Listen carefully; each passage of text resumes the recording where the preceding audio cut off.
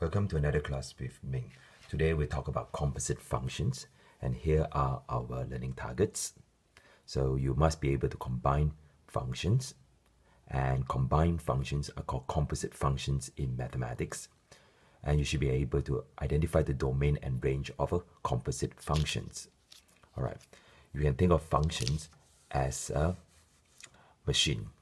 So we can think of here, we have two particular functions, function f and a function g. So what we can do is that let us allow an input x to go into the machine f. Here, the output will be f of x. And this is read as f of x. And this output of machine f is acceptable as the input of machine G. And we get another output. This times is going to be G big bracket f of x.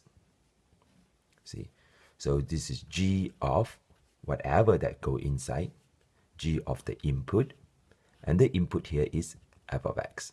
So this is read as G of f of x. Right. So this is what we call a composite function.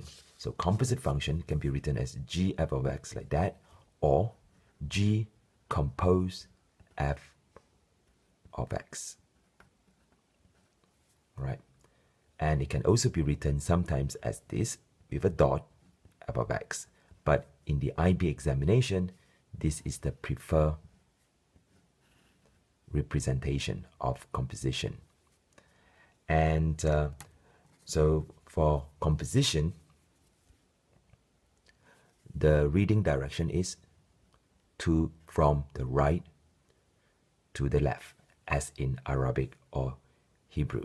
So your X goes in first, so this is read as first F, then G, right? First F, then G. So here's a composite function.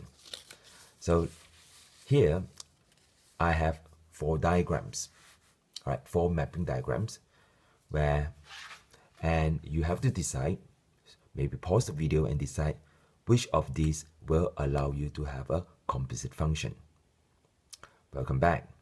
So obviously this doesn't because the domain, the range of f is not even part of the domain of G. That means the output of f is not acceptable into G. So in this case, the composition does not exist. So in this case of uh, g of f of x does not exist.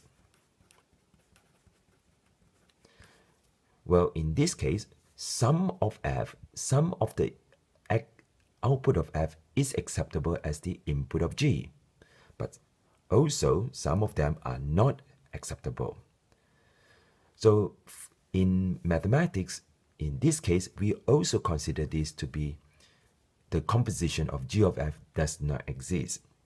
So what exists means is that the range of f must be completely inside the domain of g, one case, or the range of f and the domain of g have the same size. So for a composition g of f of x to exist, we need to have the range of S, range of F to be a subset of the domain of G. So either they're same size or the range of F is smaller than the domain of G.